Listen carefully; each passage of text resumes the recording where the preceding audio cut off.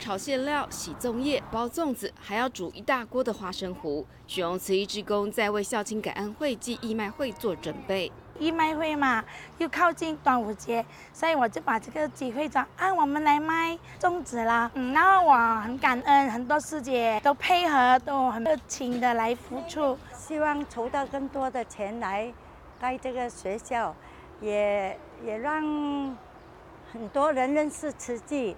附近居民知道慈济是以非盈利办校后，也都来响应义卖，现场也设有书醒区推广书食。祝愿父母平安吉祥，快快乐乐。孩子们奉茶，感谢亲恩，用实际行动把爱勇敢说出来。平时是不会跟爸爸说对不起咯，可能是表这样趁机可以奉茶，就顺道讲出来了，很感动。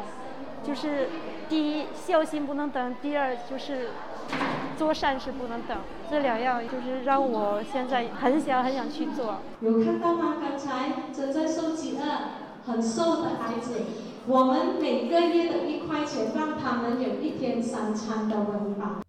鼓励小钱能够行大善，职工借此机会启发众人的善念。在捐钱的时候讲到的一块钱，虽然对于我们个人是不重要，但是对于贫穷的人是一个很大的付出，可以帮助他们的生活更加更好。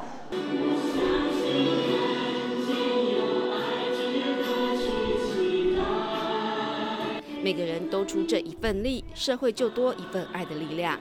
大爱新闻真善美之工李子萱、张志亮、连文光，马来西亚报道。